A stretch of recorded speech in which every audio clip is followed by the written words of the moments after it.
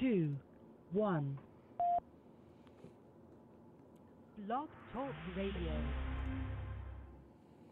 Gentlemen, start your engines! Booster. Go. Retro. Go. Vital. Go fly. Guidance. Guidance go. Atomic batteries to power. Surgeon. Go flight. EECOM. We're go flight. GNC. We're go. TELMU. Go. Control. Go flight. Turbines to speed. Procedures. Go. Inco. Go. FAO. We are go. I'm completely operational and all my circuits are functioning perfectly. Network. Go. Recovery. Go. Capcom. We're go flight. Time circuits on, flux capacitor, fluxing, engine running. Launch control. This is Houston. We are go for launch. Let's rock and roll. Ready to move out. Engage. Have fun storming the castle. Live from the bunker, the little radio show that could, but hasn't yet. It's SciFi4Me Radio. Greetings, everyone, and welcome. That's right. Yes, we have not uh, not quite done it yet, but I think we're about to. Uh, maybe, maybe we have. Uh, I don't know if we've crossed the threshold or not, but today uh, things have kind of blown up on us over here on uh, on the main site, which is uh, right now on WordPress. Uh, usually, our traffic is, you know, 150, 200 people, you know, 200 page views. Today, 650 uh, individual visitors and eight, over uh, nearly 900 page views because of an article that we posted today about the brewing brouhaha between San Diego Comic Con and Salt Lake Comic Con, and and we are going to talk about that at length on this week's H2O. Greetings, everyone. Tonight, Jason Hunt here, along with Timothy Harvey, my co host on H2O. Hello, Tim. Hello. And if you want to be a part of the program, you can call in area code 347 426 3997. The chat rooms are open and live. That's probably the best way to. Uh, to make a comment on, on all of this stuff because I'm uh, scratching between two or three screens here. So uh, the chat room's open uh, both on uh, Blog Talk Radio where you're listening, and uh, if any of you are watching our live stream feed, uh, there is a chat room widget open there as well. Uh, San Diego, excuse me, San Diego Comic Con. That is our topic for the week. And uh, thought tonight we would hit the filmed media stuff, some of the film, maybe the TV. Just we're just gonna skim the surface tonight, folks, because we only got thirty minutes, and there's tons of stuff uh, that came out of San Diego. A lot of a lot of things that weren't being uh, that weren't expected. some things that were expected didn't happen uh, that people were hoping to have uh, over the weekend. We did not get any kind of a Captain Marvel Shazam announcement. We did not get um, titles for the new dates in the Marvel lineup. Uh, no announcements about Doctor Strange. Uh, we do have rumors that Joaquin Phoenix is in, in talks with that, uh, but none of that none of that stuff. But we did get uh, some interesting announcements, and I want to start, Tim, with uh, the stuff coming out of Legendary Pictures, because Yeah. I think I think you know when we knew that Gareth Edwards was going to be doing Godzilla two, that was already confirmed. Now we know that Mothra, Rodan, and King Ghidorah are all going to be joining Godzilla in the next movie uh, which uh, Gareth Edwards will be working on after he finishes his uh, his his installment of Star Wars. Um, which was not actually discussed much at Comic Con. no, it wasn't. Um, now I So odd. well now we did see a bearded Mark Hamill at the London premiere of Guardians of the Galaxy, and he called it a contractually obligated beard. Uh, As all so, Jedi should. as all Jedi should have. So we know that he is going to have the grizzled veteran look that uh, that Obi Wan Kenobi was sporting.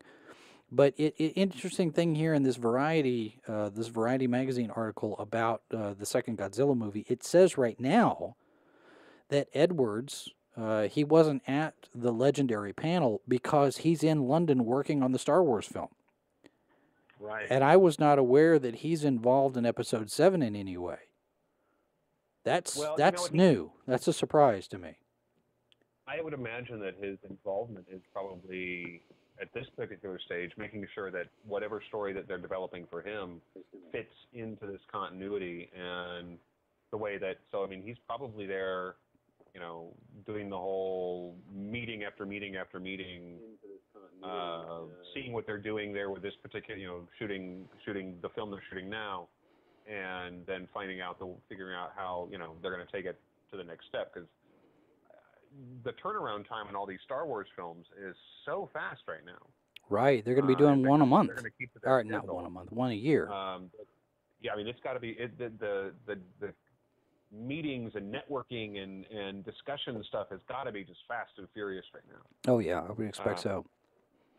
So I would imagine that's what he's doing there. But um, that's a pretty impressive lineup of monsters for Godzilla 2. That's we're we're jumping right into the um, uh, full scale Godzilla world here in a way that we seems see, I, I wasn't expecting them to go that far this th- that into into that this quickly really with all three of them.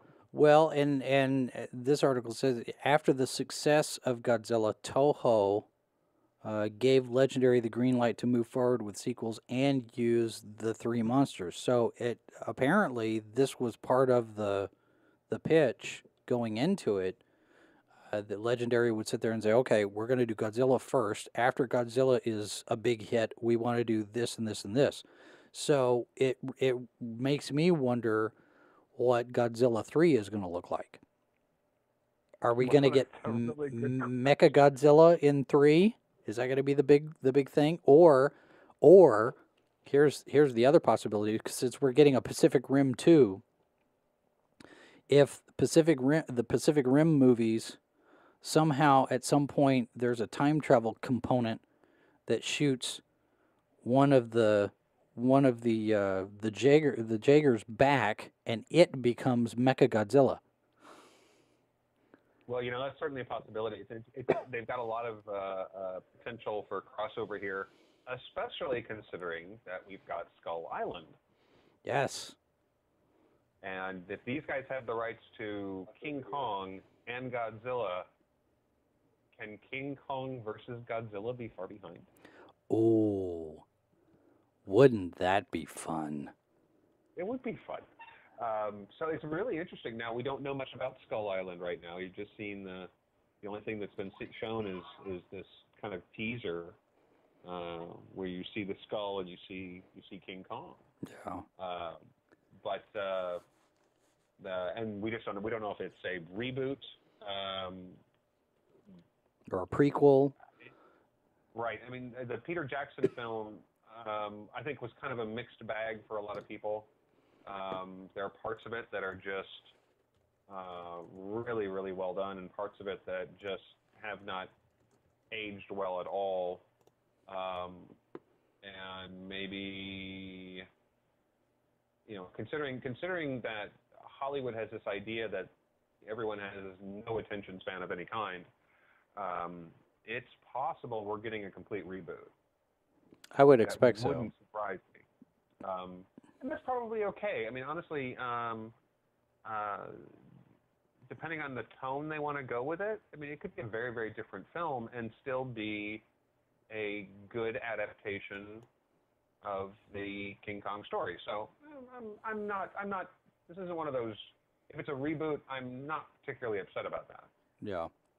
Well, in the in the 2005 movie uh, was not Legendary Pictures, um, but it was Universal.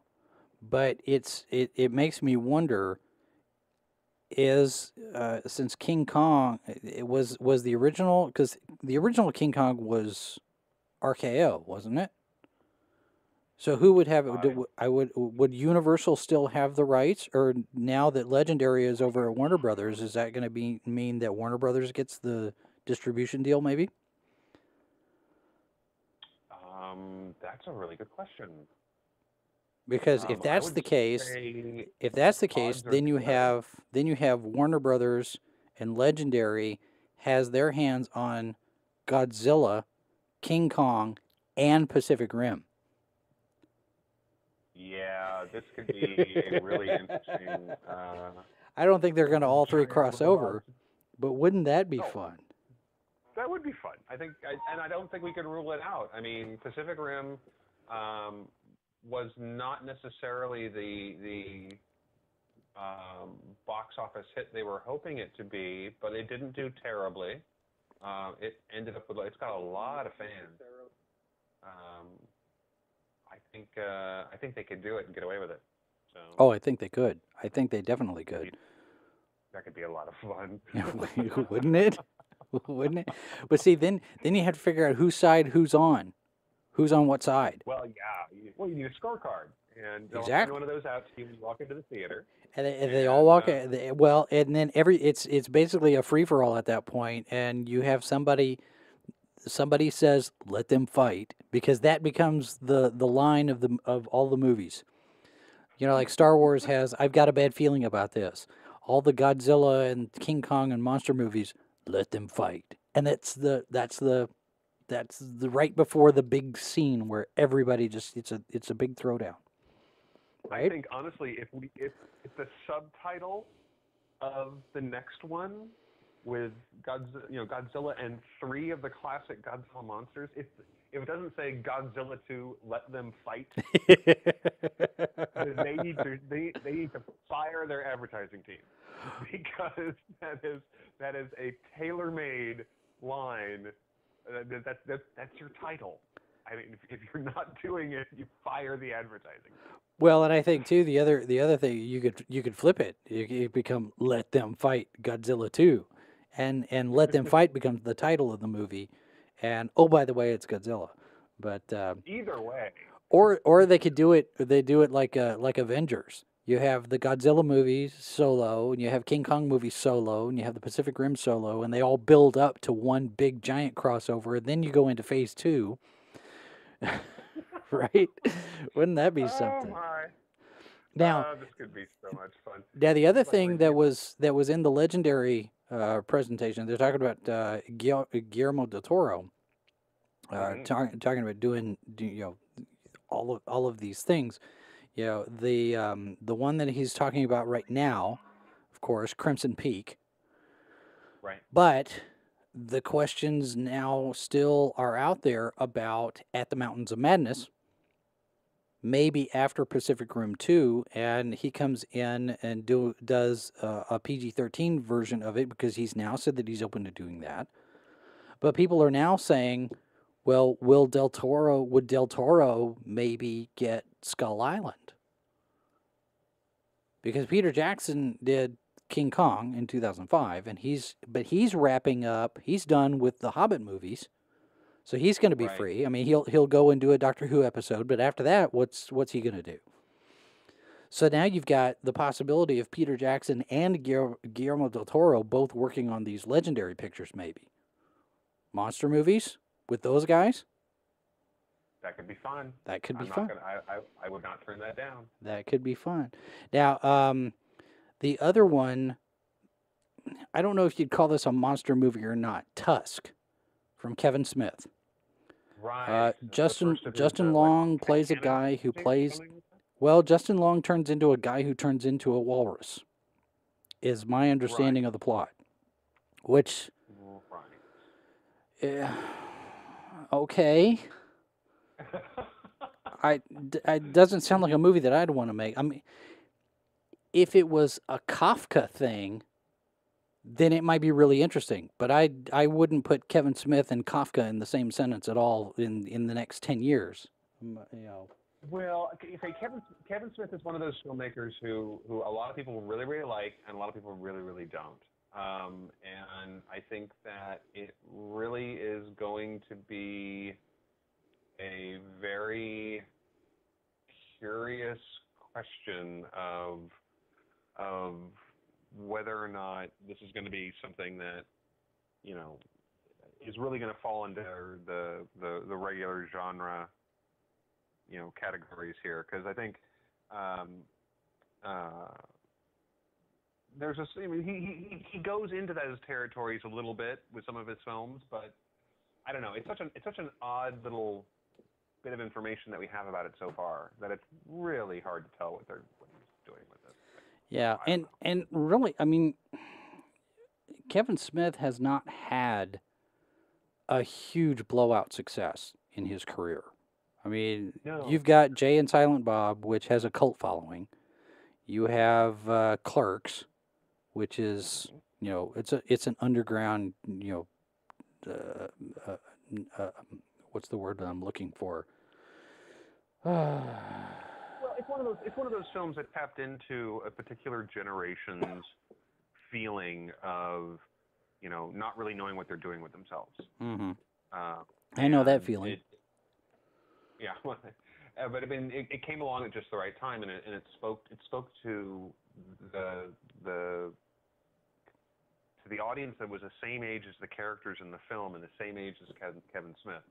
You know, people who are who were smart but found themselves in dead end jobs and all these things. So I mean, it, it opened the door for him to have a fan base, and then his other films, you know, whether you know with varying degrees of success uh, and varying degrees of critical acclaim, um, you know, all kind of were always playing to that same audience. Right. Um, and uh, you know, if nothing else, you have to admire the fact that generally speaking, he makes pretty good feature films for tiny, tiny budgets. Um, in in the grand scheme of things for for Hollywood pictures Yeah. um, and uh, has you know he, and he's built a career out of having a chance to do something like this. And, and for those of us who are who are in the film world, who are who are doing on some of this stuff, uh, I you know And not finding an of- audience. Thank you very much. yeah, and, and a certain amount of you know uh, uh, appreciation and jealousy. Uh, yeah. but uh, yeah, it's it's a um, it's it's very it's you know it's such a curious curious little little story idea here that I don't really know what to make of it at this point. And I guess it's the first in a trilogy uh, of stories that he's telling here, um, which uh, uh, I don't know I don't know how you know much that's going to be like. Uh, you know the several of his films all fit into a continuity already. Uh, it could be the same kind of deal where you know he's telling three different stories that all kind of fit in the same kind of world. Um, so who knows? Who knows? But it's a, it's you know, uh, it's it's kind of a strange little thing that I just don't know what to make of at this point. Yeah. Now, a lot of people talking, uh, uh, not not expecting uh, Christopher Nolan and Matthew McConaughey. They showed up, and they were doing a, a, a thing about Interstellar. And uh, they did a little push for Interstellar. I did. Did they? I think they released a new trailer. Did they do some sort of a tease or something out there? Because I that was part of the, uh, was that part of the Paramount? There was a longer, longer trailer out, which gives you a little bit uh, uh, bigger sense of of what the picture's about. Although it's still kind of vague.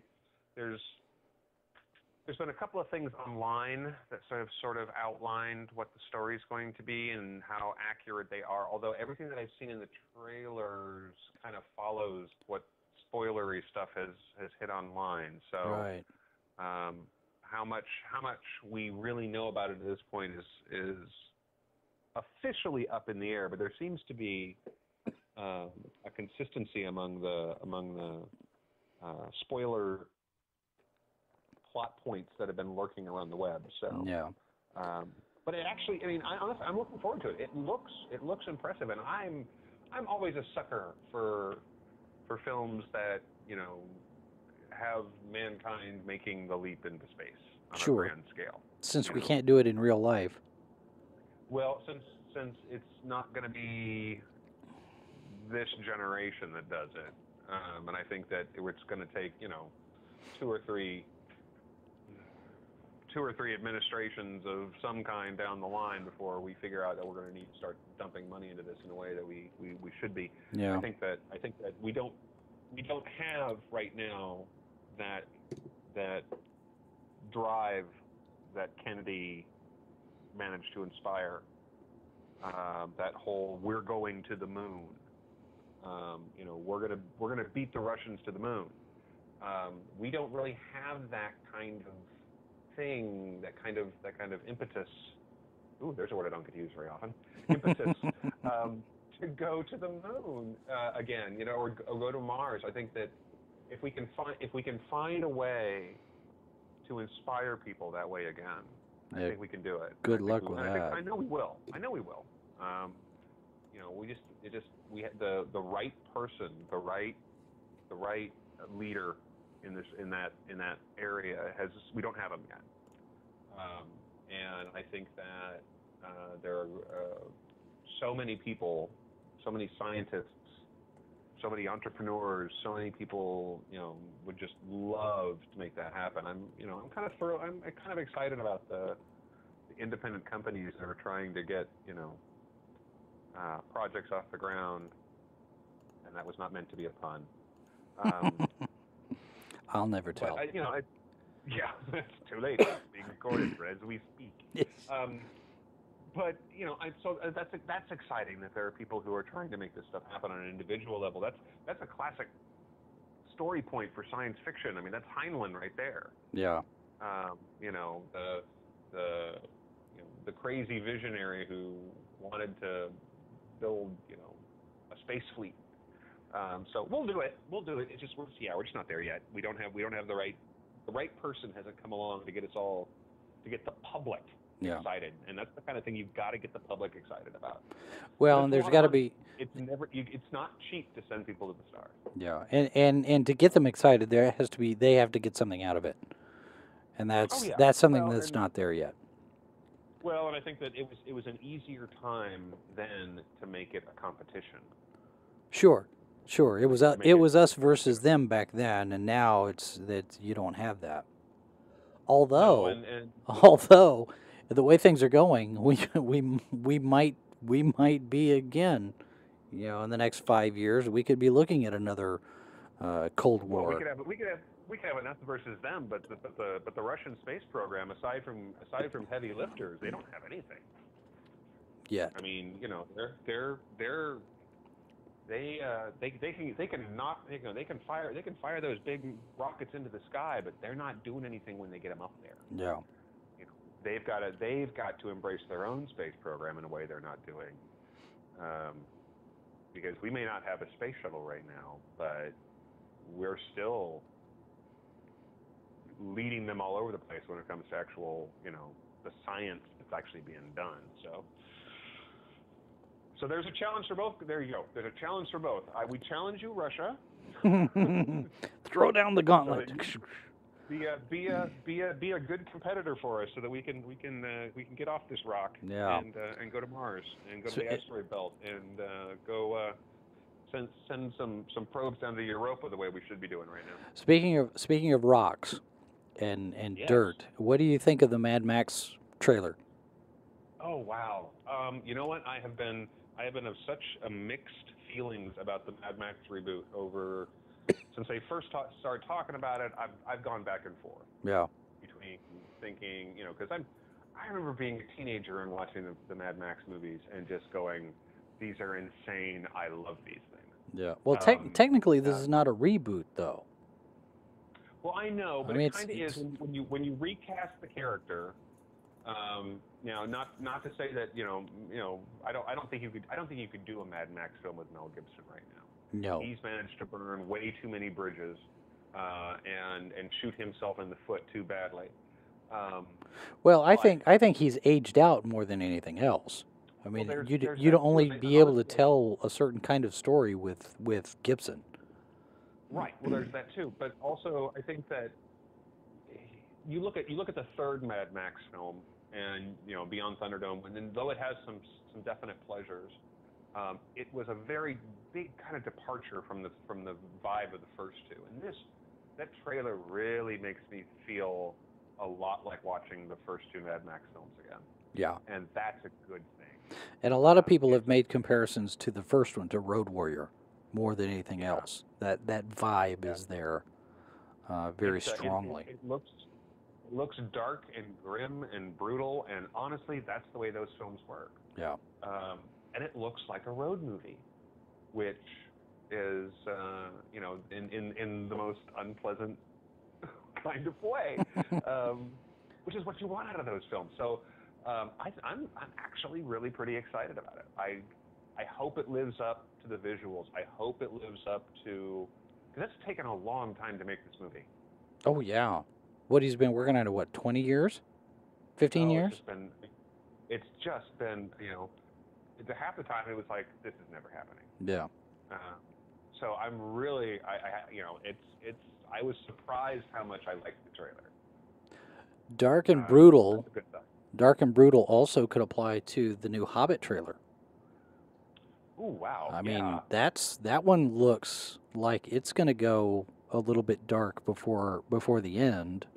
Uh, the end. I mean, of course, you know we all know how it's going to end, but well, some Wait, people what? some people do. Those of us who actually read know what maybe how it- it it- ends. it- This this this reading thing maybe Good to read the book. Yeah. this one of these days, you know, I, I think this could be a topic for us for H2O at some point. The benefit of reading. This this this reading thing someday will catch on, I would hope. But um, you know, it's it's one of those things that I think in this day and age where the internet makes us stupid, uh, and that's another topic we'll cover. But y- you, you know, reading, yeah, listen, watching uh, Weird Al's word crimes, that is Yeah. such such an indictment uh, on on of of everything that's wrong with the internet. Uh, because it does, I think it does. I mean, it, it, it does give us the, the technology to reach out to, to people. I mean, we've got we've got people hitting our website from all over the world, and that's great.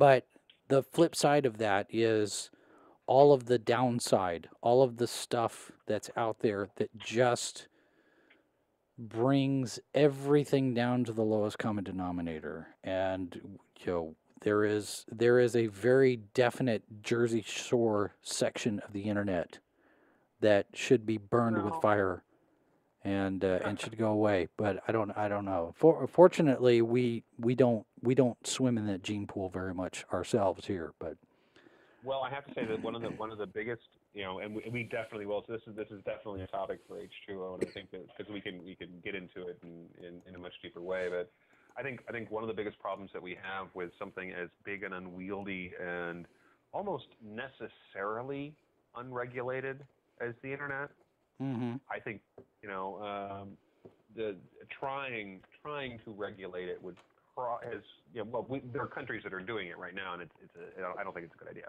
Yeah, um, in a way that they're doing it. But there's an anonymity to the internet, which is a big plus and an incredibly huge negative.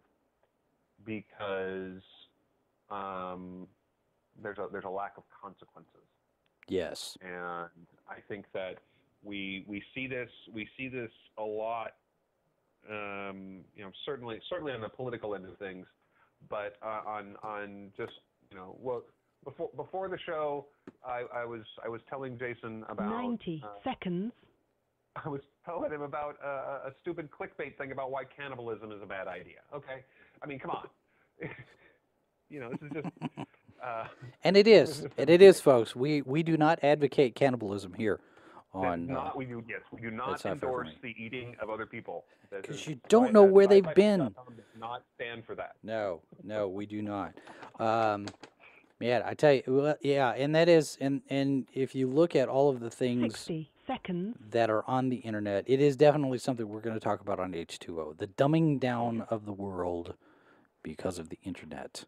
Um, but there are some benefits to it, social media being one of them if it's used properly. We do have our channels over there Facebook, Twitter, YouTube, Instagram, Pinterest, Google, Plus, Tumblr. Um, we are we are sadly at the end of our broadcast half hour this time. If you want to send us a comment, you can send us an email live from the bunker at scifi4me.com. And tomorrow night, I think we're going to get into a little bit on the comic book movie stuff, some comic book announcements. John Holloway is going to be in the, in the studio with us to talk about that. And uh, later on in the, in the week, we'll have H2O. And next week we'll have book month starting. seconds. We are loaded for bear the next couple of weeks. So, Timothy Harvey, thanks very much for joining us tonight. Thank you. My pleasure. and we will be back in 23 and a half hours, folks. Good night. This has been a presentation of scifi4me.com. Copyright 2014 by Flaming Dog Media, LLC. All rights reserved. No portion of this program may be retransmitted without the express written consent of Flaming Dog Media. Now, go out and play some basketball.